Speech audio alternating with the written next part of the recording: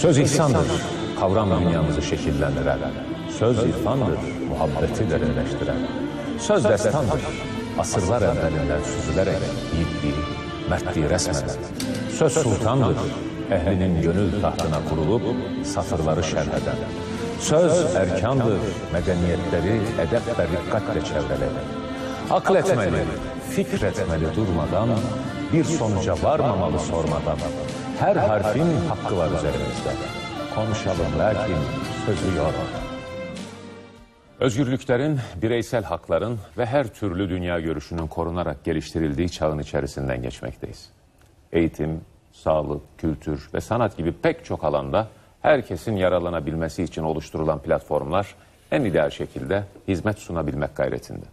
Nitekim kurslar, seminerler, konferanslar, konserler ve benzeri nitelikte aktivitelerle yeteneklerimizin geliştirilip motivasyonumuzun artırılabilmesine yönelik birçok hizmet sunuluyor. Peki merkezine insanı koyan bu gayretlerin yanı sıra ıskaladığımız, fark edemediğimiz, fark edip de önemsemediğimiz başka hangi değerler var? Adına iletişim çağı denilen bu yüzyılda iletişim araçlarının artmasıyla beraber neden iletişim kurmakta zorlanan bir nesle dönüştük? Milletçe aynı dili konuşabilmeyi arzularken küçük bir ailenin birbirini anlamayan fertlerini hangi koşullar doğurdu? Şairin dediği gibi kalbin keşif alanı hangi değer ya da öğretilerle yeniden aralanabilir?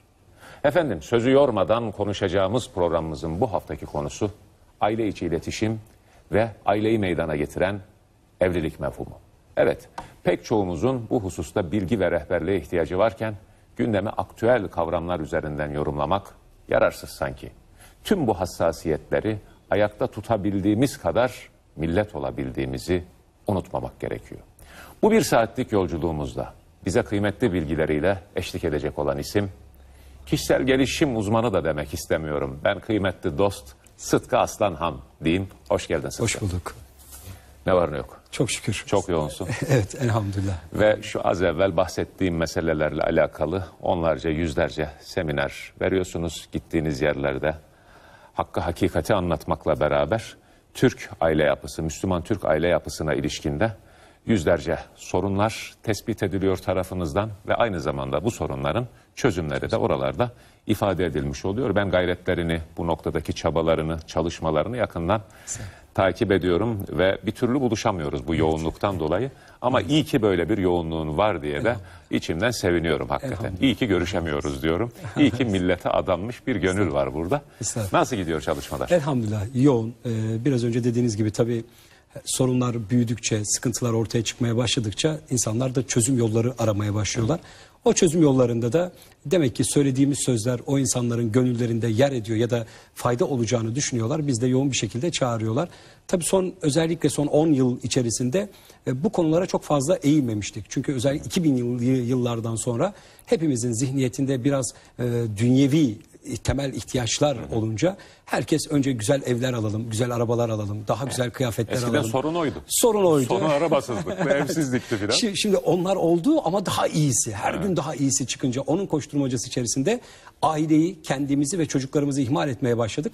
E, tabii çocuklar küçükken sesleri çıkmadığı için çok bu sorunların farkında değiliz ama çocuklar büyümeye başladıkça, sorunlar ortaya çıkmaya başladıkça sorunları parayla, tabletlerle, alınan daha güzel cep telefonlarıyla, en güzel tatillerle çözemeyip en güzel özel okullara göndermemize rağmen sorunlar her gün katlanır büyümeye devam edince bu sefer acaba nerede hata yaptık? Bu sorunların cevabı nerede deyince de e, sözlediğimiz sözler belki de tesir ediyor ki bizi de davet ediyorlar. Biz de dilimiz döndüğünce insanların gönlüne dokunmaya çalışıyoruz. Yok yok tesir ediyor. Ben her tarafından da o tesirin etkilerini duyuyorum, yansımalarını duyuyorum. Ve çok da iyi oluyor hakikaten.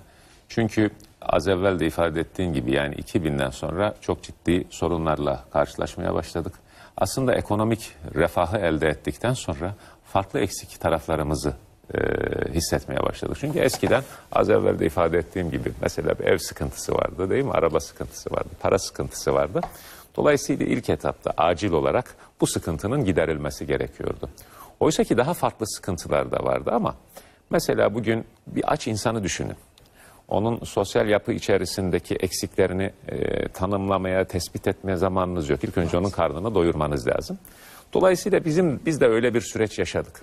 Ama şu anda aslında herkes bir şekilde rahat yaşıyor.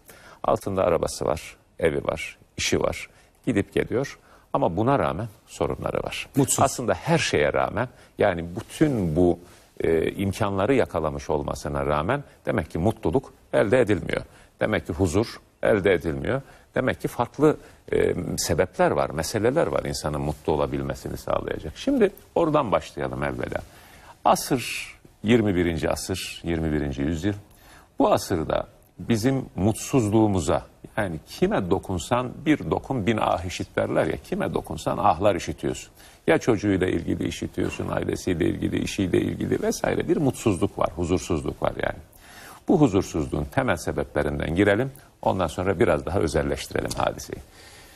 Tabii e, önce tespit etmek lazım. Niye mutsuzuz? Yani Neden? bizler belli bir yaş seviyesinde olan insanlar dönüp hayatımıza baktığımızda ben kendi hayatıma dönüp baktığımda hakikaten bugün geçmişe göre çok daha fazla para kazanmamıza rağmen geçmişe göre daha mutsuzuz. Hepimiz bugün geçmişe göre daha büyük ve daha lüks evlerde oturuyoruz. Ve zaman sıkıntısı yaşıyoruz. Zaman sıkıntısı yaşıyor. Mesela biz beş kardeşiz. Anam ortaya bir kap yemek koyardı. Ya makarna ya bulgur ya nohut olurdu. İkinci çeşit olmazdı. Kaşığı sallardık. Hatta kavga ederdik. Kim bir kaşık daha fazla yiyecek diye mücadele ederdik. Bir odamız vardı. Çok mutluyduk. Orada yatıyor misafir ağırlıyorduk. Nostalji olsun diye söylüyorum. Gerçekten çok mutluyduk. Şimdi bakıyorsun çok lüks evler, avizeler, koltuklar, sehpalar, kristal kaşıklar, çatallar. Hanım bugün işim vardı pek bir şey yapmadım dediğinde sofrada 4-5 çeşit yemek. Ama bakıyorsunuz buz gibi suratlar. Çocuklar kalkıyor ders çalışma odasına. Hanım mutfağa, bey vatanı milleti kurtarmaya, televizyonun başına ya da kahveye fayans döşemeye gidiyor. Bir an önce evden çıkmanın derdinde. Bugün geçmişe göre sağlık imkanları 100 bin kat daha iyi olmasına rağmen insanlar bugün geçmişe göre daha sağlıksız.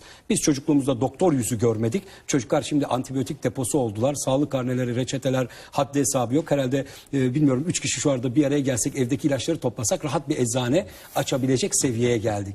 İletişim teknolojisi ilerledi. İnanılmaz bir noktada Amerika'da dünyanın herhangi bir yerindeki bir arkadaşınızla birkaç saniye içinde iletişime geçiyorsunuz. Babaannesi torunu görsün diye neredeyse bilgisayarın içine sokacağız. 3G'lerle artık canlı yayınlara katılıyorsunuz. Ama bugün insanlar birbirleriyle daha az iletişim kuruyorlar. Asansöre biniyoruz ya ayak ucumuza bakıyoruz ya tavana. Hadi çık bir an önce çıksın. Ya karşında insan var bir selam versene. Sabah tam kapıyı açıyoruz evden çıkacağız. Bakıyoruz karşı komşu çıkıyorsa tak hemen biz kapatıyoruz. Aman o gitsin de ben ondan sonra çıkayım şimdi kim görecek onu? Birbirimizi görmemek için yollarımızı değiştirir olduk. İnsanlar uzaya gitti, galaksileri keşfetti, atomu keşfetti ama kendini, eşini ve çocuklarını keşfedemedi.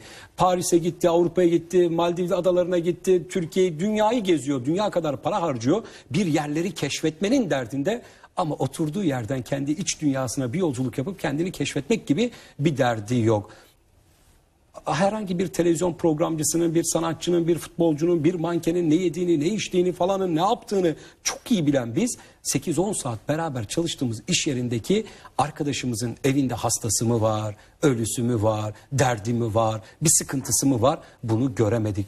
İnsanlar aya ayak basıp geldiler ama yan taraftaki komşusunun sofrasına koyacak bir ekmeği var mı yok mu bunu göremiyorlar.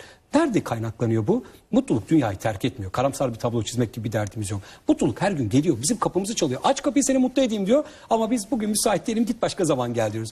Ben sınav zamanında üniversite hazırlayan gençlerle çok yoğun program yapıyorum. Soruyorum onlara. Bu arada da tercih dönemleri olduğu için yoğun bir şekilde arıyorlar. Gençler nedir ne olursa hayatta mutlu olursunuz. Sizi mutlu edecek olan şey nedir? İstisnasız cevap. Hocam şu üniversiteye bir kapak atalım var ya sen beni o zaman gör bak nasıl mutlu oluyorum. Ya biz gittik hiç de öyle insanı mutlu eden bir yer falan değil.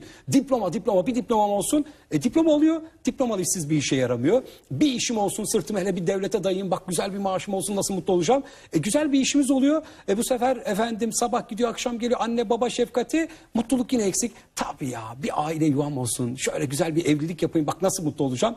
Evleniriz. Dünyanın kaç bucak olduğunu görürüz falan diyorum. Bekarlar korkmasın. Evlilik iyidir, güzeldir. Üç ay, beş ay fena değil biliyorsun abi. Geç ben teyze biz 42 yıllık evliyiz dedi. Dedim arada böyle anormaller çıkar. 42 yıl direkt olan.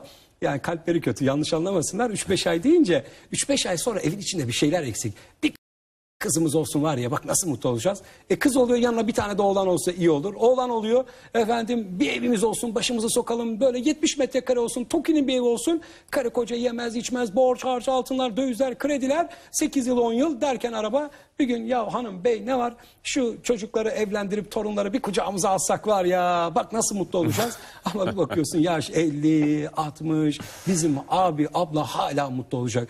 Bu ülkede insanların %90 hayatı böyle geçiyor. Diyorlar ki hoca farklı bir hayat mı var? Çocuğun okul taksiti, dershane, kredi kartı, düğün borçları, ev taksitleri. Hayat hepimizin. Türkiye'de borçlu olmayan kimse yok zaten kredi ödemeyen neredeyse. Herkesin zaten böyle bir ödemesi var. Nasıl mutlu olacağız? Ben diyorum ki mesele o borçları ödemek değil.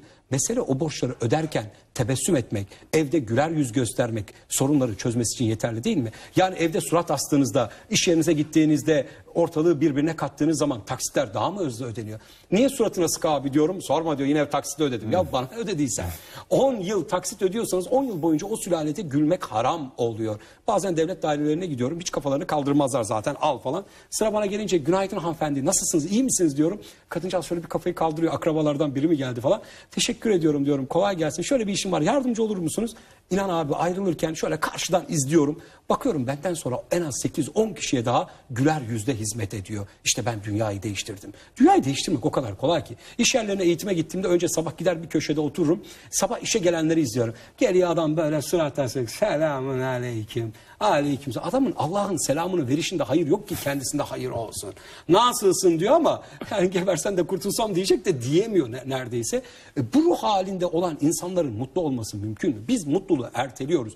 Ben şu an içerisinde bulunduğum zaman diliminde mutlu değilsem bilin ki yarın da mutlu olma şansım yok. Bizim mutluluk kavramımızı, mutluluğun ne olduğunu tekrar gözden geçirmemiz lazım. Biraz önce dediğim gibi kişisel gelişim, iletişim bu, bu sektörde Türkiye'de, Avrupa'da popülerlik insanların nasıl mutlu olacaklarını söylüyorlar. Ben de bir soru soruyorum. Şu an sarayında oturan, boğaz manzaralı yalısında oturanlar mı mutlu?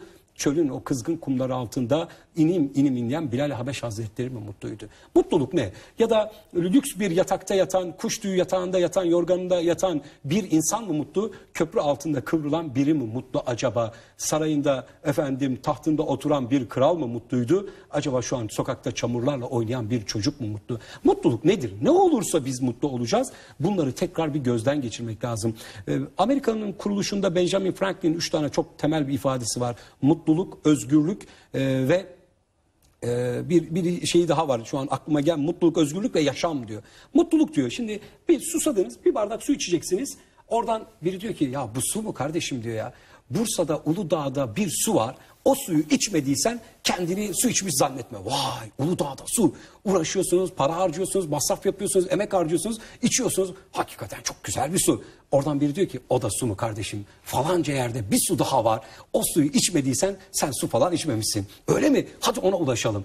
Bizim bir zamanlar hayalimiz neydi? Başımızı sokacak bir gece kondu da olsa bir evimiz. Şimdi 300-500 bin liralık güzel bir dairede oturuyorsunuz. Oradan biri diyor ki abi sana bu yakışır mı ya? Senin falanca sitede oturman lazım. Ya oturacağım da 1 milyon dolar. Olsun kredi, borç var. Orada oturuyorsunuz ama senin bir de yazlığının olması lazım. Bir de kışlığının olması lazım. Altımıza bir araba olsun işte bizi bir yerden bir yere götürsün. Ama bakıyorsun komşunun arabası senin arabandan daha güzel. Hanım eve geliyor surat asıyor. Ne oldu falancalara gittik onların çok güzel mobilyaları var. O mobilyadan almazsam ben mutlu olamam. E başlıyor adam suratı asılmaya başlıyor. Bakın mutluluk, yaşam diyor. Ya, e, e, şey diyor mutlu ol diyor. Mutlu ol da nasıl mutlu olacağız? Sürekli mutluluğun önüne yeni şeyler konuluyor. Oysa oturduğunuz zaman daha mutlu oluyorsunuz. Rabbim 8 sene önce hacca gitmeyi nasip etmişti. Haçtan döndüm tam ofise gireceğim. Çok sevdiğim bir iş adamı ziyarete gelmiş ama ben yokum. Tam çıkmak üzereyken karşılaştık. Sıtkıcım dedi geldim dedi yoktu dedi benim işler çok yoğun dedi. Ben dedi şirket beni bekliyor işler güçler bekliyor ben gidiyorum falan. Böyle telaş panik. Abi bir dakika dedim ya içeri oturalım bir hurma zemzem. Yok yok dedi benim işler çok yoğun dedi. Beni bir, bir sürü şey senet bekliyor falan. Abi bir dakika dedim otur şuraya dedim ya. Ben de hacca gitmeden önce zannediyordum ki çok koşunca çok kazanacağım. Haçta öğrendim ki oturunca daha çok kazanıyorsun. Kazanç deyince hemen durdu. Anlamadım dedi. Vallahi abi hacca gittik. Tavaf yaptık, koştuk. Say yaptık, koştuk. İkisi de güzeldi ama malı nerede götürdük biliyor musun dedim. Nerede dedi. Gittik akşama kadar Arafat'ta oturduk malı götürdük dedim. Anladım ki oturunca daha çok kazanıyormuşsun. Biz ne zaman oturabilirsek, ne zaman kendi iç dünyamızı dinlemeye becerebilirsek, ne zaman kendimizle baş başa kalmayı becerebilirsek, ne zaman ki mutluluğun çok şeye sahip olmakta değil de şükretmekte, kanaatkarlıkta olduğunu, sadece bu dünyanın değil bir de bunun ötesinde ebedi bir dünyanın olduğunu, bu dünyada her şeyin oyun oyuncaktan ibaret olduğunu çocukluğumuzda aile maddi durumu iyi olanlar çok güzel oyuncaklarla oynarken biz çamurlardan kaleler yapardık, çamurlardan oynardık, misket oynardık, çelik çomak oynardık ama çok mutluyduk. Şimdi en güzel Barbie bebekleri alıyorsun, uçan helikopterler, uçaklar alıyorsun, uzaktan kumandalı en güzel arabaları alıyorsun, yurt dışından sipariş ediyorsun çocuğa, getiriyor ya iki dakika sonra kenara attığını görüyorsun. Niye mutlu edemiyoruz biz bu çocukları? Bize bir amcamızın mahallemizdeki bir dedenin bir büyüğün verdiği küçük bir şekerle o günü müthiş bir huzur ve mutluluk içerisinde geçiren bizler bugün çocuklarımıza en iyi cep telefonları, tabletleri, kıyafetleri almamıza rağmen iki dakika sonra bize tavır yapmalarının, surat asmalarının ve ertesi gün daha iyisini istemelerinin altında yatan sebep ne? Bizim bunları sorgulamamız lazım. Avrupa'da, Amerika'da aklı başında zenginler mutluluğun yolunu buldular abi. Baktılar ki o ev, yat, kat, şu, et, şu, bu falan filan mutluluk getirmiyor e, sade hayat akımı diye bir akım var çok yaygın bir şekilde.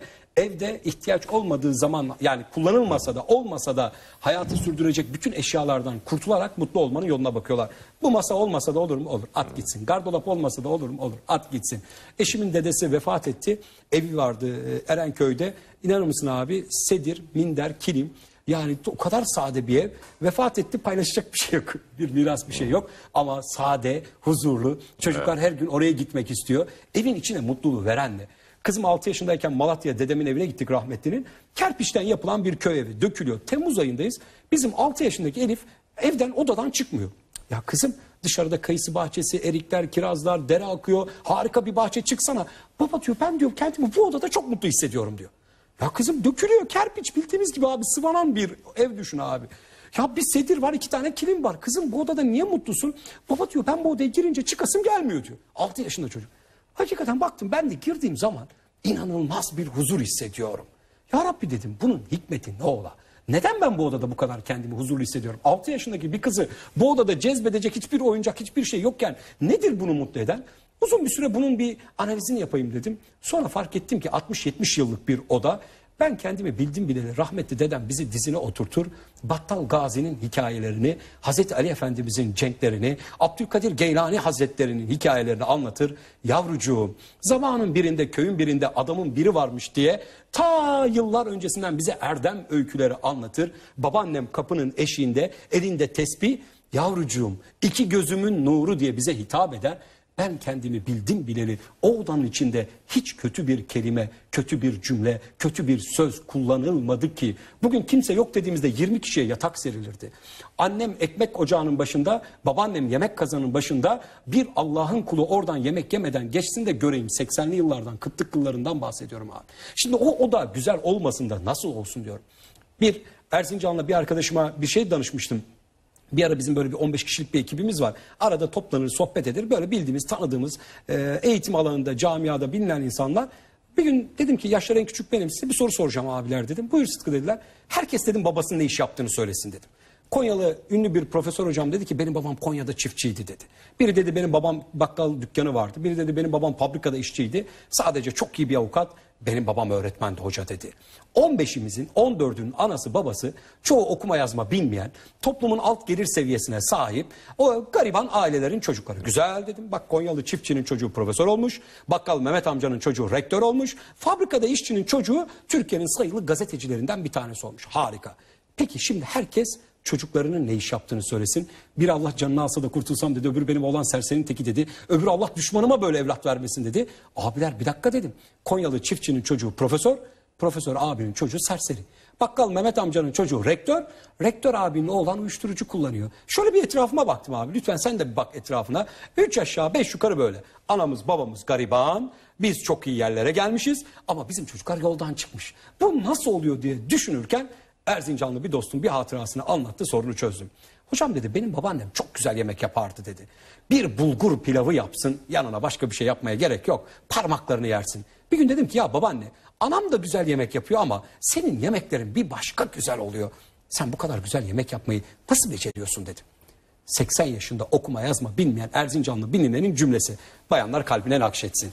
Dedi ki oğlum kadın dediğin yemeği pişirirken kendisinin de yemekle beraber pişmesi lazım. Oğlum sen beni hiç abdestsiz yemek yaparken gördün mü? Oğlum sen beni hiç o yemeği karıştırırken O yemek evlatlarıma şifa olsun diye bildiğim duaları, salavatları, tesbihatları çekmeden, sevgimi o yemeğe karıştırmadan yemek karıştırdığımı gördün mü? Bir tarafta abdestsiz yemek yapmayan babaanne, öbür tarafta al geberisçe şunu zıkkımlan diye tabağı çocuğun önüne veren anne. Bir tarafta evladına şifa olsun diye dualarla yemek karıştıran babaanne, öbür tarafta akşam tencere atmış bir şeyler karıştırıyor.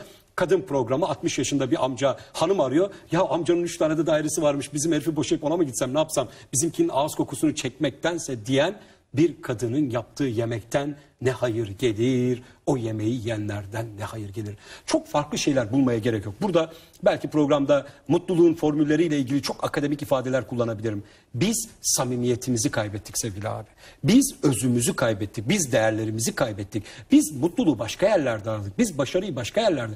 Ben hepimiz babalarımızı beğenmedik. O cahil dediğimiz, okuma yazma bilmiyor dediğimiz, gariban dediğimiz psikoloji, pedagoji, formasyonu bilmeyen o anne babalarımızın bize belki katı gibi gelen sert tavırlarını beğenmedik. Beğenmedik ama bugün işte ortaya çıkardığımız çocuklar da maalesef ortada. Bizim analarımız bize bir kez söylerdi, babalarımız sadece bakardı, kaşlarıyla dağları yerinden oynatırdı. Babam lisedeyim yanımdan geçerken dedi ki, oğlum bardak dolmak üzere dedi. İki gün fizyokimyam, e, iki ay fizyokimyam e, dağıldı, darmadağın oldum. Acaba bardak dolarsa ne olacak? Beni dörde mi bölecek? Kulağımdan basacak. Bakın yanlış anlamasın kimse. Yemin ediyorum babam bana bir fiske vurmamıştır abi. Şimdi çocuğa diyorsun ki oğlum bak bardak dolmak üzere ha. Baba sürahi getireyim mi diyor. bak programı sözü yormadan. Analarımız ve babalarımız sözü yormuyordu abi. Bir kez söylüyordu ve arkasını geç. Şimdi kız sana bin kere söyledim. E, çenen mi yorulacak? Bir bin daha söyle. Kale almıyor ki. Sokakta bacak kadar çocuklar annelerine öyle kelimeler cümleler söylüyorlar ki geceleri uyuyamıyorum. Bacak kadar so- sokak ortasında annesine saçmalama anne, manyak mısın anne, kes anne, bıktım anne, gıcıksın anne, öf anne, sus anne, durdur etme anne. Bir de şöyle bakışları var. Anne! ne var geberisice? Cennetin ayaklarının altında olduğu anne. Üf bile denmeyeceksin ayetinin olduğu anne. Elmalı Hamdi Hoca'nın e, üf son limittir ha dediği anneye ağzımıza geleni söylüyoruz. Geçen TEOK sınav sonuçları açıklandı. Kız sınavdan 320 puan almış TEOK'tan. Şimdi bilen bilir 320 puan ne demek? Rezil bir puan. Kepaze bir puan. Akıllı bir kız. Yani ne demektir bu? Öğrencilik yapmamış. Şimdi işinizi yapmadığınız zaman bir fatura var değil mi? Şu an televizyon programı görevimiz var. Geliyorsunuz yapmanız lazım. Yapmasanız efendim e, verdiğiniz sözleri yerine getir. Sözünü yerine getirmemiş. İşi öğrencilik yapmamış. 320 puan. Rezil bir puan. Geldi elinde ayrıntı ayakkabılar, giyimler, kuşamlar gören Teok Türkiye birincisi zannedecek abi. Kadıncağız böyle ezik büzük işte kızının ders çalışmadığını anlatacak ama tam kızıyla ilgili olumsuz bir şey söyleyince şöyle telefondan kaldırıp anne diyor kadıncağız hazır ol vaziyetine geçiyor. Hazır ol vaziyetinde. Ben bunu sonra bir hadiste görünce çözdüm abi. Bazen diyorum ki bu hadisi bir ben çözdüm diyorum. Böyle ters ters bakın niye diyorum tipim müsait değil mi falan diye. Peygamberimiz Aleyhisselatü Vesselam'ın kıyamet alametlerini anlattığı hadislerin birinde diyor ki abi anneler efendilerini doğuracak. Hadisin orijinal geçen kelime efendi. Ayşe özür diliyorum Rablerini doğuracak. Anneler Rablerini doğuracak. Rab kelimesinin 14-15 anlamı var. Efendi, terbiye edici. İşte bugün doğurduğumuz çocuklar bizim efendimiz, bizim terbiye edicimiz. Biz bunlara hakim olmayınca çocukların dünyasına dalınca çocukların daha iyi okul, daha iyi dershane, daha iyi hoca.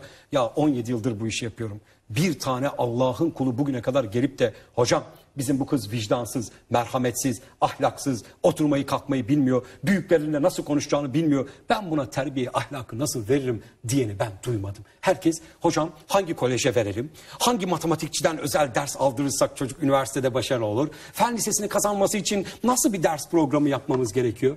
Ya ahlaksız olursa, ya vicdansız olursa, ya merhametsiz olursa? Burada bir virgül koyalım. Sıtkı Hocam kısa bir reklam aramız var. Reklam arasından sonra tekrar birlikte olacağız efendim.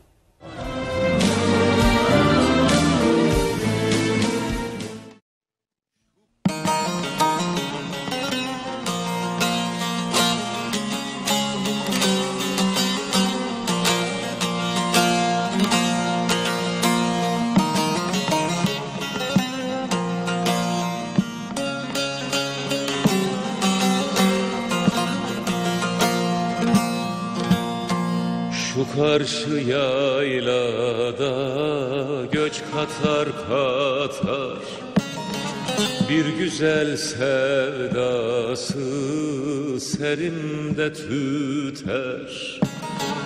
Bu ayrılık bana ölümden beter. Geçti dost kervanı Eyleme beni Eyleme beni Bu ayrılık bana ölümden beter. Geçti dost kervanı Sevdiğim başta oturup. Bir güzelin derdi beni bitirir Bu ayrılık bana zulüm getirir. Geçti dost kervanı Eyleme beni Eyleme beni. Bu ayrılık bana zulüm getirir. Geçti dost kervanı Eyleme beni Eyleme beni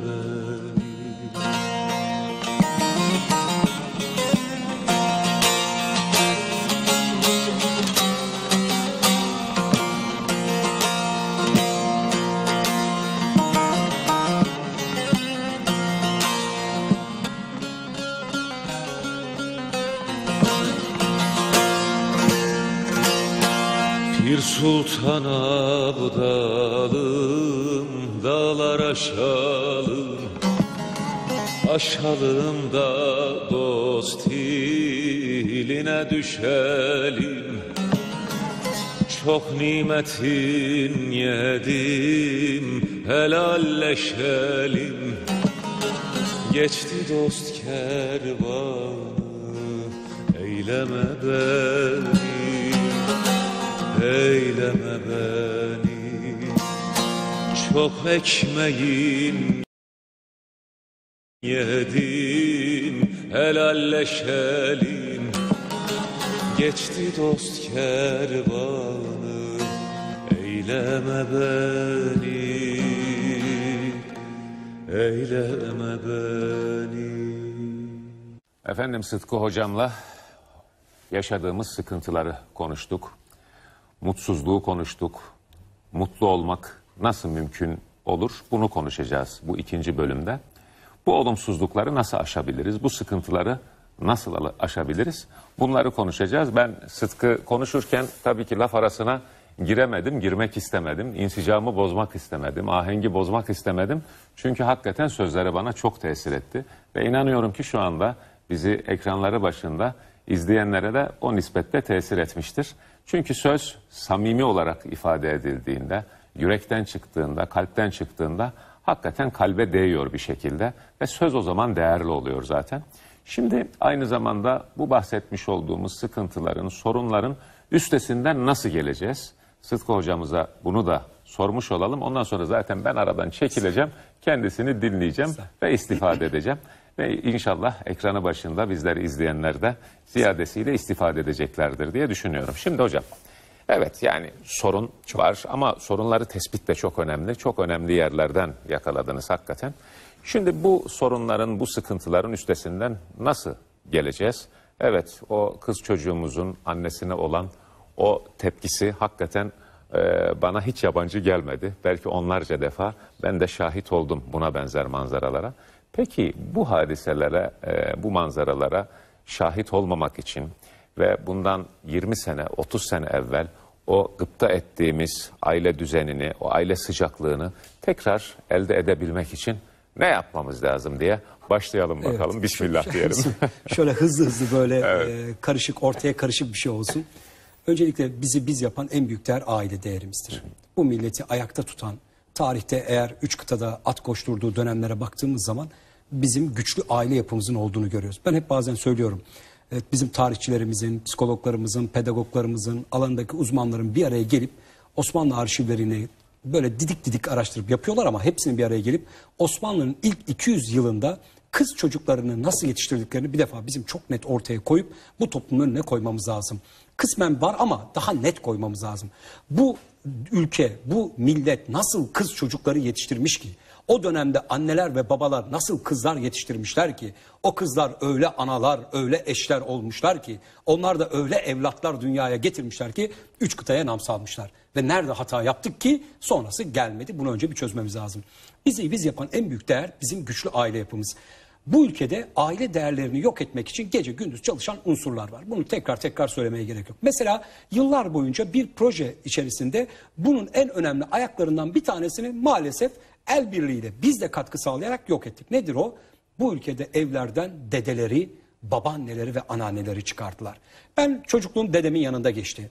Abi ben oturmayı, kalkmayı, yemeği, içmeyi, edebi, terbiyeyi, ahlakı ben dedemden öğrendim abdest almayı, namaz kılmayı, misafire çay ikram etmeyi, sofra kurmayı, sofrayı kaldırmayı, büyüklerin yanında oturup kalkmayı, büyüklerin yanında konuşmayı ben dedemden öğrendim. Ben dedem içeriye girdiğinde babamın ayağa kalkmadığı bir anı hatırlamıyorum. Ben babamın bir kez dedeme surat astığına, itiraz ettiğine, karşı geldiğine, saygısızlık yaptığına hiç şahit olmadım. Ben annemin babaannemin aleyhinde bir yerlerde konuştuğuna, babaanneme surat yaptığına, karşı geldiğine, itiraz ettiğine, suratını astığına hiç şahit olmadım. Ben bunlara şahit olmadığım için ben de anama babama bunları yapamadım. 39 yaşındayım. Babam bir dakika içerisinde 10 kere odaya girsin onunda da ayağa kalkarım. Lan oğlum otur koca adamsın çoluk çocuk tamam bir kere kalktın yeter. Estağfurullah baba. Sadece babam değil. Şurada otururken bir büyüğüm geldiği zaman ben ayağa kalkarım. Ne kaybediyorum Allah aşkına? Geçen bir bayan hocam öyle ayağa kalkmakla saygım olur. Kardeşim babası içeriye girdiğinde ayağa kalkmayan delikanlı otobüste, metroda, Marmaray'da oturuyor 70 yaşında amca başında bekliyor. Uyuyor numarası yapıyor sahtekar. Babası içeriye girdiğinde ayağa kalkmayan kız okulda öğretmenine, mahallesindeki büyüklerine de saygı duymuyor. Ben şekilci bir insan değilim. Baba eve girdiğinde delikanlı bacakları dikmiş tavana. Baba hoş geldin. O da ay benim aslanım tosunum bilmem neyim falan filan diye. Bazen e, seminerlerde espri olsun diye söylüyorum. Bir alışveriş merkezine baktım 4-5 yaşlarında bir çocuk. Babişko, babişko dedim herhalde itini kaybetti onu arıyor. Meğer babasını arıyormuş. Baba da çıktı holişko buradayım dedi. Ya baba ikincisi yok fotokopisi yok, çoğaltamıyorsunuz babanızı. Allah korusun kaybederseniz mezarına gidip ağlıyorsunuz. Ben asla anahtarla eve girmem. Zile basarım. Kim o? Babanız geldi. Dört tanesi dizilir. Şimdi iki yaşındaki de artık ilave oldu onlara. Hoş geldin baba. Eve Şam babası gelmedi, baba geldi. Önce babasına saygı duymayı öğreteceğiz. Şimdi genç kızlarımız evlenirken ilk cümlelerine ben öyle kaynana maynana dırdırı istemem. Sizinkiler şurada oturuyorsa biz falanca yere taşınacağız. Ben öyle çocuklarımı babaannenin babaannenin eline vermem. E diyorum ki işte yetiştirdiğiniz mallar ortadaki. Kimse kusura bakmasın kardeşim. O, babaanne, dede geçmişiniz yoksa geleceğiniz olmaz. Geçmişle gelecek arasındaki bağı o kültürleri, ahlaki değerleri verecek olan çocuğa model olacak olan kişi odur. Evlerimize ben soruyorum bazen yaşı büyük olanlara hiç küçüklüğünüzde psikoloğa gittiniz mi diyorum. Hocam deli miyiz gideceğiz. Yanlış anlamayın. Psikoloğa gitmek kötü bir şey değil ama biz çocukluğumuzda gitmedik. Niye? Bizim evde dayımlarla beraber oturuyorduk. Suratım asıksa babam dayıma birkaç göz işareti yapardı. Hele şununla bir ilgilen bakalım. Dayım gel bakalım derdi. Hayırdır bir derdim var. Ya yok dayı gel gel götürür bir pastaneye işte dondurma bir şeyler ısmarlar. Anlat bakalım derdi. Ya kafamızda kavak gellere esiyor ya da dayı ben evden kaçacağım. Lan ne oldu oğlum? Ya dayı ben babamla anlaşamıyorum evi terk edeceğim derdik. Dayım bizim havamızı nasıl alacağını bilirdi. Aslanım benim, koçum benim, sen bakma babana, sen büyük adam olacaksın, dayısının iki gözü. Hele yeğenime oradan bir dondurma daha getir, duymayın bu sözleri. Biz de peki dayı bu sefer senin için kaçmayacağım der. Aslanlar gibi eve giderdik. Kızlarımızın aynı yastığa baş koyup sabaha kadar anasına anlatamadıklarını anlatıp hüngür hüngür ağladıkları teyzeleri ve halaları vardı. Şimdi internette, Facebook'ta, Twitter'da kime amca, kime dayı, kime teyze, kime hala diyorlar. Bağdat'ta, Taksim'de, Nişantaşı'nda güzellik merkezlerini gezdim abi. Sordum bir konuyla ilgili. Hocam diyorlar 13-14 yaşında genç kızlar çocuk ya 13 yaşında çocuk harçlıklarını masamıza koyup orasına burasına estetik yaptırıyor. Dudakların bilmem kimin gibi olsun, elmacık kemiğim kimin gibi olsun. Hafta sonu alışveriş merkezine bakın 12-13 yaşında çocuk diyeceğimiz kızlar özür diliyorum kız mı kadın mı belli değil. Giyimler, kuşamlar, çantalar, makyajlar. Kızlar anaları gibi olmaya çalışıyor. Anaları kızları gibi olmaya çalışıyor. Okul müdürlerine seminer veriyorum. Hocam diyorlar sabah çocukların okula gelirkenki yürüyüşünden akşam hangi diziyi izlediklerini anlıyoruz diyorlar. Modelleri kim bu çocuklar? Biz samimi olacağız Hur abi. Biz samimiyetimizi kaybettik. Haddim değil burada. İslam'da 120-130 tane yasak vardır. Haram vardır. Domuz eti yemek 90. sırada gıybet ikinci sıradadır. Biz domuz kelimesini ağzımıza almıyoruz ama her gün gıybet etmeye, dedikodu etmeye, suizan etmeye, birbirimizi arkadan çekiştirmeye devam ediyoruz. Ya Allah korusun, kimse yanlış anlamasın, günah küçümsediğim anlamda söylemiyorum. Domuz eti yesem ne olur ya? Maddi ve manevi bütün günahı sadece şahsıma ait olan bir günah. Ama gıybet öyle bir şey mi? Gıybet bir yuvayı yıkar. Gıybet bir aileyi parçalar. Gıybet bir memleketi birbirine düşürür. Gıybet toplumsal bir günah. Adam iş yerinde maskeyle dolaşıyor. Eşine karşı maskeyle dolaşıyor. Kimse kimseye güvenemiyor. Biliyor musun abi ben seni çok seviyorum. Gidiyorsun sen bilmezsin bunun ne olduğunu. Ya iki dakika samimi ol ya. Samimi değiliz. O gözyaşı döken cahil dediğimiz analarımız babalarımız samimiydi. Gece gündüz ağlıyorlardı. Hata da yapsalar psikolojik ve pedagojik boyutuyla çocuk eğitimiyle ilgili yanlış kararlar da alsalar samimiyetlerinden dolayı Allah onu güzele çeviriyordu. Bir yerde imamlara eğitim veriyorum. Ben samimiyeti anlatınca imam arkadaşlardan bir hocam bir hatıramı anlatayım dedi. Bir espri olsun sevgili izleyicilerimize de. Buyur dedim Anadolu'da bir de imamlık yapıyorum dedi. Çok ünlü bir mafya babası var. Kabadayı. Adam dedi semti haraca bağlamış. Her türlü kötü iş var. Allah hidayet nasip etti dedi. Bütün kötü işleri bıraktı. Beş vakit namaza başladı. E ne güzel abi dedim. Hocam güzel de dedi. Adamın bir problemi var dedi. Hayırdır dedim. Bir namaz kılışı var görmen lazım. Nasıl kılıyor dedim. Hocam dedi öğrenmiş safların sık ve düzgün tutulması gerektiğini namazdan önce cemaat safları sık ve düzgün tutalım diyor. Cemaat korkudan ip gibi diziliyor abi dedi. Ama kendisinin duruşu böyle yamuk dedi. Yan duruyor. Bir tekbir alışı var. Cemaat korkuyor. Bir selam veriyor. Esselamu aleyküm diyor. Millet korkuyor. Herkes geliyor. Ya hoca şuna bir şey söyle. Hocam diyor cemaat korkuyor ama ben de korkuyorum diyor. Tamam adam hidayete erdi ama bir tane vursa yerimden kalkamayacağım diyor. Bir gün baktım keyfi yerinde. Abi dedim ya sen ne yapıyorsun? Tamam namaz kılıyorsun ama e, namaz kılmanın da bir usulü adabı var. Elini omzuma koydu. Hoca dedi. Şeytana posta koyuyorum dedi. Adamın ömrü hayatı el aleme posta koymakla geçmiş. Eline şeytanı geçirmiş ona posta koyuyor. Samimi. Diyorum ki Allah nefsine ve şeytana posta koyanlardan eylesin. Çok iyi bir doktor arkadaşıma senin başarın ne- ne- nedir sebebi? Başarın neye borçlusun dedim. Okuma yazma bilmeyen anamın gecenin üçünde döktüğü gözyaşına bağladı. Anlamadım dedim. Biz Sivaslıyız hocam dedi. 5 yıl ilkokul. Ne olur anneler bunu iyi dinlesin. 3 yıl ortaokul, 3 yıl lise. 11 yıl boyunca eksi 40 derecede bile eve gittiğimde bir gün kapıyı çaldığımı hatırlamıyorum dedi. Rahmetli anam kapının eşiğinde beni karşılar, alnımdan öper, içeriye alır, yer sofrasına oturtur, çorbamı getirir. Ben çorbamı içerken o saçlarımı okşardı. Çorbamı içtikten sonra döner derdi ki yavrucuğum hele bir anlat bakalım bugün öğretmen sana ne öğretti. Meğer okuma yazma bilmeyen anam bana e, konu tekrarı yaptırırmış da haberim bile yokmuş. Hocam gecenin ikisinde üçünde tuvalete kalktığımda en az 20-30 sefer gözlerimle gördüm. Gecenin üçünde o okuma yazma bilmeyen anam kitaplarıma sarılmış hüngür hüngür ağlıyor. Ya bu kadın deli mi? Gecenin üçünde benim kitaplarıma sarılıp niye ağlıyor diyordum. Ama şimdi çok iyi anlıyorum. Ben bugünlere geleyim diye. Bir gün babama dedim ki baba dedim sen ilkokul mezunu bir adamsın. Psikoloji bilmezsin. Pedagoji bilmezsin. Çocuk eğitimi bilmezsin. E bir gün bizim oturup matematik, fizik, kimya falan çalıştığını da görmedim. Ama beş kardeşiz işlerinde en kötüsü benim. Sen ne yaptın da dedim biz kötü insanlar olmadık dedim. Lan oğlum dedi ben öyle senin gibi psikoloji psikoloji bilmem dedi. Ben iki şey yaptım dedi.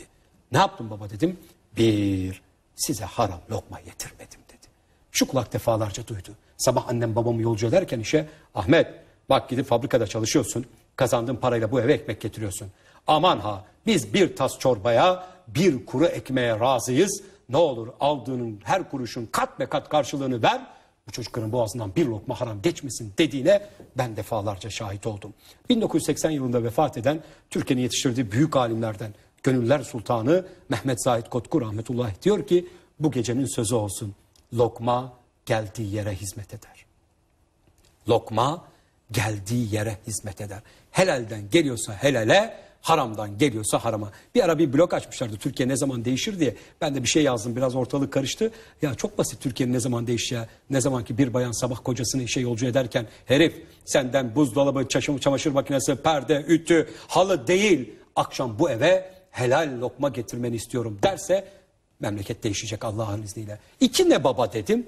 Oğlum dedi. Aha bu gördüğün eve var ya dedi. Benden sonra kimse giremedi dedi. Hatırla abi çocukluğunu. Akşam ezanı okunacak. Erkek sen evde olma da göreyim seni. Hayatımda bir kere akşam ezanından sonra eve girmeye teşebbüs ettim. Babamın sesini duydum. Üç gün amcamlarda saklandım.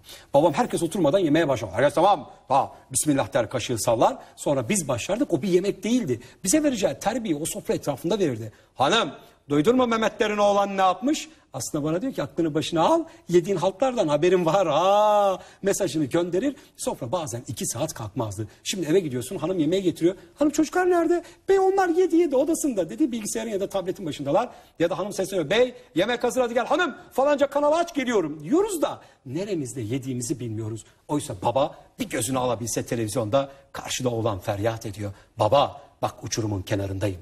Çakallar etrafımı sarıyor. Sigaranın arasına uyuşturucu ot koymuşlar. Okulların önünde 5 liradan satıyorlar abi. Bonibon şekeri gibi uyuşturucu hap dağıtıyorlar. Bak çeteler beni de alacak götürecek gidiyorum sizden. Ya tutsana elimden diyor. Kız ana bırak falancanın gözlerini de yüreğim paramparça. Sana sevgine yüreğine kalbine ihtiyacım var. Tut elimden diyor. Anamın derdi başka, babamın derdi başka. Sadece şu dediğimi yapsınlar. Allah'ın izniyle bu akşamdan itibaren aile hayatları değişebilir. Bu akşamdan itibaren akşam yarım saat aile saati yapsınlar. Çay saati, meyve saati, çerez saati, sevgi saati, gönül saati adına muhabbet saati desinler. 9-9.30 bu evde çay saati. Herkes toplansın ama şu masalarda değil. Yer sofrasını bir serin, şöyle bir bağdaş kurun, kızınızı oğlunuzu alın. Yemin ediyorum abi bir baba oğluyla iki bardak çayı yudumlarken bir de sevgiyle gözlerinin içine bakıp iki tatlı kelam etse oğluyla oğlan uyuşturucu mu kullanacak? Kul depresyona mı girecek? Yoldan mı çıkacak? Bir çeteye mi üye olacak? Ülkeye, vatana, millete hain mi olacak? Anlayacak ama ana bir elmayı soyarken şöyle sevgiyle kızına uzatırken bir de gözlerin içine baksa kız depresyonda mı bunalımda mı kocaya mı kaçacak? Anlayacak ama ana bir odada, baba başka odada, çocuklar başka odada. Ev değil ki abi otel otel. Yalvarıyorum babalara şu an yaz tatilindeyiz. Okullar açılacak. Allah aşkına diyorum babalar 8, 9, 10, 11, 12, 13, 14, 15, 16 yaşlarında kızı olanlar ne olur haftada değil, ayda değil, iki ayda bir izin alın iş yerinizden. Gidin kızınızın okulun kapısında kızınızı bekleyin. Hayırdır baba nereden çıktın sen? Ya kızım canım sıkıldı, moralim bozuldu, işler kötü gidiyor. Şu güzel kızımı bir göreyim de, şöyle kızımın koluna gireyim de, kızım babasını götürüp bir kahve, bir çay ısmarlasın da moral bulayım dedim. Aslan kızım deyin, girin kızınızın koluna. Nereden çıktın? Hayırdır ya? Beni almaya mı geldin? Ben çocuk muyum? Ya oğlum işlerim bozuk, canım sıkıldı, moralim bozuldu. Patron laf söyledi, elemanlarla kavga ettim. Babana bir çay ısmarladı şöyle bir kendime geleyim de. Gir koluna oğlunun bir dokun bir sarıl bir öp bir dayanak olarak gör. Bak neler oluyor. Biz bunları ihmal ediyoruz. Bunlar çok basit şeyler. Radyo programına gireceğim. Bir dakika var. Karne alındığı gün telefonum çaldı. Gayri ihtiyar açtım. Bir şey söylüyor adam biri. Abi bir dakika dedim. Sonra ara. Hoca dedi benim oğlan liseye gidiyor. Altlarına zevk getir. Ben bunu keseceğim doğuracağım dedi. Bana acil bir şey söyle. Abi bir dakika dedim. Sen oğlan lise kaça gidiyor dedim. Durdu durdu. Hanım dedi bizim oğlan lise kaça gidiyor dedi. Abi dedim sen oğlanın lise kaça gittiğini öğren. Ben sana çözüm yolu söyleyeceğim. Şimdi ekranları başında duyarlı dinleyiciler, izleyicilerimiz diyordur. Ya hoca o kadar da değil. Bizim oğlan 11. sınıfa gidiyor. Öyle mi? Peki 11A, 11B, 11C. Bana lütfen anne babalarınızı test edin. Anaokulundan lise sona kadar. Hatta üniversitede okuyan çocuğu olanlar. Çocuğunuzun sınıfında en az 10 arkadaşının adını, soyadını, nasıl bir ailenin çocuğu olduğunu bilmiyorsanız lütfen bu akşam anne ve babalarınızı gözlerinizin önünde tekrar getirin. Yemin ederek söylüyorum abi dostlarına sor bundan sonra bu ülkede çocuklarının gözlerinin rengini bilmeyen milyonlarca baba var ya. Ama falanca mankeninkini çok iyi biliyor. Çocuğunun gözleri... Şimdi hanımınkini de diyeceğim daha ayıp olacak. Biz özümüzü kaybediyoruz. Biz değerlerimizi kaybediyoruz. Biz samimiyetimizi kaybediyoruz abi. Önce samimi olmak lazım. Bazen seminerlerde espri olsun diye bayanlara söylüyorum. Anneler diyorum. Bu sokakta 15, 16, 17 yaşındaki odunlar, kalaslar kimin diyorum? Bizim hocam diyorlar. Bir bakar mısın kız mı erkek mi belli değil ya. Niye iş yaptırmıyoruz? Çözüm işte çözüm abi. İş yaptıracaksın kızına. 8, 9, 10, 11, 12, 13, 14 yaşında kızı olanlara en az anne haftada iki akşam yemeği yaptıracak. Haftada en az bir akşam bulaşığı lavaboda ellerinde yıkatacak. Verecek eline bezi tuvaleti banyoyu temizletecek. Kalas gibi odun gibi durmayacaklar abi. Peygamberimiz Aleyhisselatü Vesselam diyor ki kızlarınıza el işi örgüyü danteli erkek çocuklarınıza ata binmeyi, yüzmeyi, okçuluğu öğretin. Biz kızlarımızı erkek gibi yaptık. Erkeklerimizi kız gibi yaptık. Misafirliğe gidiyorsun çayı bayan getiriyor, abla getiriyor. Abla kız nerede falan, oğlan nerede? Şey hocam odasında falan. Ne odası? Çıkmıyor. Kız diyorsun işte bir çık bir teyze hoş. Ben diyor gebersen diyor çıkmam diyor. Odun odun çıkmıyorlar. İş yaptırmıyoruz. Ben şu an ekranın başındaki dostlarıma soruyorum. Hemen dönün çocuğunuza sorun. Bu elektrik faturamız kaç para geldi? Doğalgaz faturamız kaç para geldi? Su faturamız kaç para geldi? Kaç tanesi biliyor? 15-16 yaşında delikanlıya git marketten peynir al desen hangi peyniri alacağını bilmiyor. Bu ülkede ekmeğin kaç para olduğunu bir bizim çocuklar bilmiyor bir de şimdi söylemeyeyim siyasi olacak falanca bilmiyor Uğur abi. Bilmiyor. Çocuklarımıza iş yaptıracağız. 17 yaşında delikanlı ev sizin mi kira mı dedim bilmem dedi babama sor dedi. 15-16 yaşında gençlere nasılsın diyorsun. Ha, ha, ha, ha, aptal aptal yüzünüze bakıyorlar. Misafirliğe gittik 14 yaşında oğlanı baba zorla çıkardı. Oğlum bir çık kocaya hoş geldin de geldi salonda böyle yüzüme bakıyor. Çok yaşıyorsundur abi. Nasılsın dedim. Dersler nasıl dedim. Hayat nasıl gidiyor dedim. Hadi git dedim. Bir kelime konuşmadım. Kızımın okuluna gittim. 6. sınıfa giden çocuğa anne öğlen arası gelmiş beslenme yediriyor. Hadi oğlum şu kaşığı da al. Abla ne yapıyorsun dedim. Hocam ben vermezsem aç kalıyor. E gebersin dedim. Yarın sen olmayacaksın ve bu çocuk aç kalacak. Öyle çocuklar yetişti. Evin kapısına salsın. Okulun yolunu bulamaz servissiz. Okulun kapısına salsalar evin yolunu bulamayacak. Ayakkabısını bağlamaktan, yolda yürümekten, pantolonunu katlamaktan aciz zavallı çocuklar yetişiyor. Çocuğun suçu yok ki. Küçükken yolda yürürken bir çukurla karşılaşıyor. Düşe kalka geçmeyi öğrenecek. Anası bir kolundan, babası bir kolundan. Hop benim aslan tosunum. Ondan sonra tosun büyüyor, tosacak yer arıyor abi. Tosun tosun tosun ne yapar tosun abi? Ne yapacak? Ne bekliyorsun? Bizim oğlan geçen sene beş buçuk yaşında anaokuluna gidiyordu. Bu sene birinci sınıfta. Sevgili dostlarımız yanlış anlamasınlar. İyi bir baba olduğumuz örneği falan. Bir sürü hatamız var. Anaokulu öğretmeni aradı. Sıtkı hocam dedi sizinle görüşmemiz lazım dedi. Hayırdır dedim. Abdullah'ta bir anormallik var dedi. E dedim onun babası da anormal. Normaldir o zaman dedim. Yok yok siz bir gelin dedi. Gittim hayırdır hocam dedim. "Sık- Sıkıntı ne dedim. Hocam dedi pazartesi günleri dedi sabahları çocuklara soruyorum. Ne yaptınız hafta sonu? İşte çoğu işte annem babamlarla alışveriş merkezine gittik. Luna Park'a gittik. Şuraya gittik. E sizin oğlana soruyorum. Abdullah siz ne yaptınız? Babamla cenaze namazına gittik. Kabristan temizlemeye gittik. Hasta ziyaretine gittik. Pazara gittik. Hocam gerçekten evet. Cenazeye de götürüyorum 6 yaşındaki çocuğu. Mezar temizlemeye de götürüyorum. Hasta ziyaretine de götürüyorum dostlarımı. Bak amcan falanca hasta. Çiçek alıyoruz bir şeyler alıp gidiyoruz. Mevlüde de götürüyorum düğüne de. Seminerlerime de götürüyorum. Seminer arkasında kitap işlerine o bakıyor. Bir sürü yaptırıyorum. Ben hep söylüyorum. Ben pazar günü İstanbul'daysam oğlanla beraber pazara gidelim. 6,5 yaşında. Ben şimdiden 6,5 yaşındaki oğluma pazarda tezgahta hıyarın iyisini seçmeyi öğretiyorum ki yarın hayattaki hıyarları iyi seçsin abi. Yoksa hıyarlar halledecek olan. Öğreteceğiz. Bu çocuklar nasıl ayakta? 30 yaşında adam üniversite bitmiş hala KPSS devletten iş bekliyor. Ayakları üzerinde duramıyor. Anne babaya bağımlı. Ne bekliyorsun ki sen bu çocuklardan? Ya ergenlik diye bir kavram çıkardılar. Anamızı ağlattılar. 8 yaşında başlıyor 80 yaşında bitiyor Türkiye'de. 13 yaşında kız TEOK'a hazırlanıyor. Aman bey kızın üstüne gelme ergen. 18 yaşında üniversite ergen. 5 yıl geçti. 23 yaşında hala ergen. Ya şaka değil abi. O babasının koca bir devleti teslim ettiği Fatih Sultan Mehmet 11 yaşında ya. Biz 11 yaşında olanı 5 lira verip bakkala göndermeye korkuyoruz parayı düşürür. Baba liseye giden çocuğa 100 lira verip okula göndermeye korkuyor. Ben yıllarca Peygamberimiz Aleyhisselatü Vesselam'ın ashabım dediği kişileri koca koca adam zannediyordum. Meğer 8 ile 25 yaş arasında çocuklarmış. Hazreti Ali Efendimiz 8 yaşında. Enes bin Malik 10 yaşında.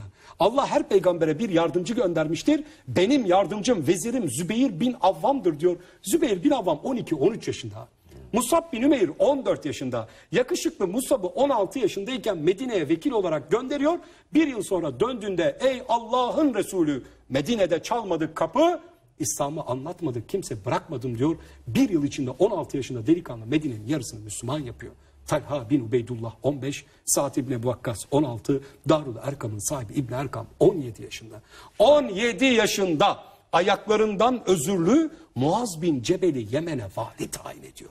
Peygamberin son komutanı arkada koca koca sahabe önde 17-18 yaşında bir kölenin çocuğu Üsame radıyallahu anh. Peygamberimiz diyor ki Allah bana gençlerin yardımını lütfetti. İslam hareketi, peygamber hareketi bir gençlik hareketidir. Bizim bugün problemimiz de gençlik değil? Ne verdik ki ne istiyoruz? Neyi gösterdik ki? Biz çocuklarımıza hedef koymayı öğretmedik. Zorlukları öğretmedik. Sıkıntılarla mücadele etmeyi öğretmedik. Bugün çocuklar bir işe başlayıp bir işi sürdürüp bir işi bitirmenin tadına varamıyorlar. İş bitirmeyi bilmiyorlar. Yükleri yok, sorumlulukları yok. Bugün yaz sezonundayız. Kaç tane anne baba çocuğunu çalıştırıyor? Sabaha kadar internetin bilgisayarın başında ikindiye akşama kadar yatıyor kalkıyor tekrar bilgisayar. Geçen bir çocuk gördüm abi elleri böyle kollar böyle klavyeden abi böyle duruyor. Ne bekliyorsunuz? Türkiye dünyada bilgisayar oyunlarına en çok para ve zaman ayıran dünyada ikinci ülke. Bizim bu kadar mı çok zamanımız var abi? Ben iddia ediyorum, söylüyorum burada ekranları başındaki sevgili dostlarıma. Üniversiteye gidene kadar çocuğuna akıllı telefon alan anne babanın aklına şaşarım diyorum, kızıyorlar bana. Bacak kadar çocuğun elinde cep telefonu ne işi var abi? Ne üretti, ne koydu ortaya? İlim tabletle öğrenilmez. İlim akıllı tahtayla öğrenilmez. İlim bilgisayarda öğrenilmez. İlim işiterek öğrenilir. Bu ülkede öğretmen kavramını biz değersizleştirdik. Şu an öğretmenlerin okulda tahtadan, tebeşirden, efendim çöp kovasından daha fazla bir değeri yok. Öğretmeni azaltınca ülkenin gençleri bu hale geldi. Bugün değer vermiyoruz çocuklarımız. Ben söylüyorum hep. Bugün Türkiye'de eğitimi laçkalaştırdık. Kimse kusura bakmasın. Öğretmen, hocam ya falan diyebiliyor muydun abi sen öğretmenine? Tek kelime edebiliyor muydun? Gelip öğretmenin babana şikayet edebiliyor muydun? Ben bunu söyleyince hocam demokratik eğitim falan. Ben de iddia ediyorum Türkiye'de en başarılı okullar azınlık ve özel okullar mı? Gidin bakalım o okullara nasıl bir eğitim var abi? Bir tane çocuğun kravatı yamuk olsun. Bir tanesinin çorabı biraz farklı olsun. Bir tanesi öğretmen. Bir tane veli falanca okula gelsin özel okula bu bahsettiğim okullara. Efendim sizin öğretmenlerden bir tanesi bizim çocuğun gururunu incitmiş. Senin de çocuğun da gururu deyip kapının önüne koyuyor abi. İstersen 50 bin dolar öde. Ama bizim okullarımızda öğretmen dövülüyor. Veli okul basıyor. Çocuk öğretmene posta koyuyor. Öğretmenin değeri yok. Bu değeri kim kazandıracak? Ben baba olarak öğretmeni çocuğumun gözünde değerli kılarsam çocuk da değerli olacak. İlim işiterek öğrenilir. Semi'na ve ata'an. Önce işitme var abi. Önce işitme var. Mevlana'nın seması nereden geliyor? Bakırcılar çarşısında değil mi? Bir demirden çıkan sesi duyuyor ve cezbeye geliyor. Görerek ilim öğrenilmez. İlim hocanın dizinin dibine oturulur. Gönlünü ve kulağını açarsın. Oradan gelenleri alırsın. Eyvallah dersin. Biz samimiyetlerimizi kaybettik. Ondan sonra işte aile geliyor. Çocuğun problemi var. El cebinde. Yani desem ki abi çıkar 5 bin lira çocuğun sorunu çözeceğim hemen. Gelmiş geçen baba 8 tane özel okul değiştirmiş 8 yılda. Hepsinde özel okul suçlu. Çocuğun hiçbir suçu yok abi. Tırnak içinde söylüyorum. Anne baba çocuğuna tapıyor.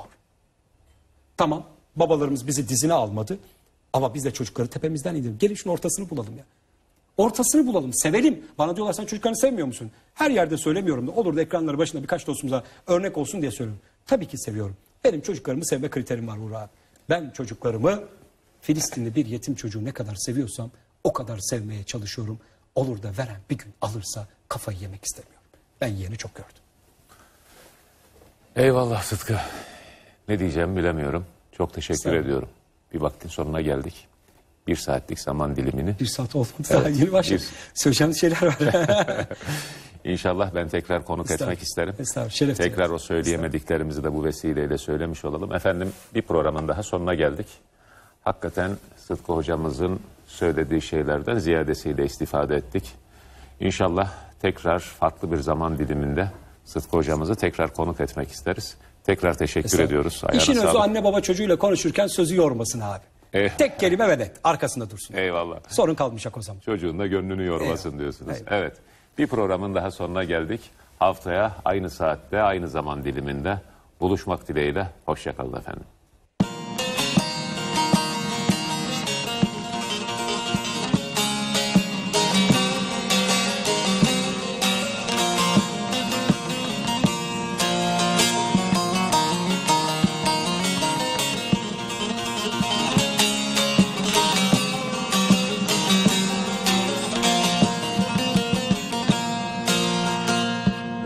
Beni anlar sandım vay vay. Her bakışa böyle kandım vay vay. Aşkımı boşuna yandım tellerime vay. Tellerime vay Tellerime vay. Aşkımı boşuna yandı tellerime vay Tellerime vay Tellerime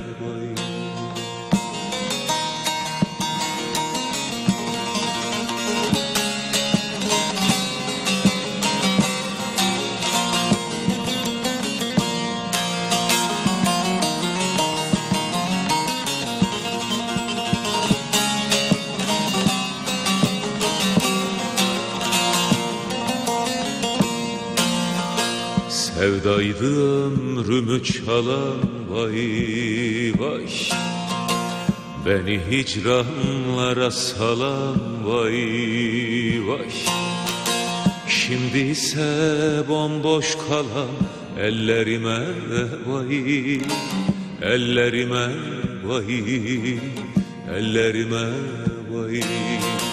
Şimdi ise bomboş kalan ellerime vay Ellerime vay Ellerime vay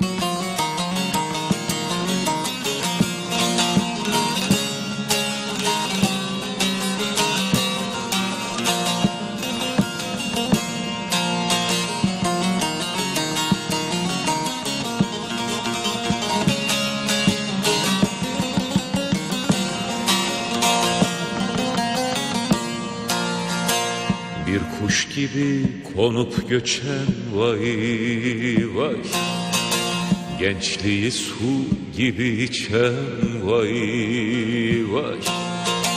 Boş hayalle gelip geçen yıllarıma vay Yıllarıma vay Yıllarıma vay.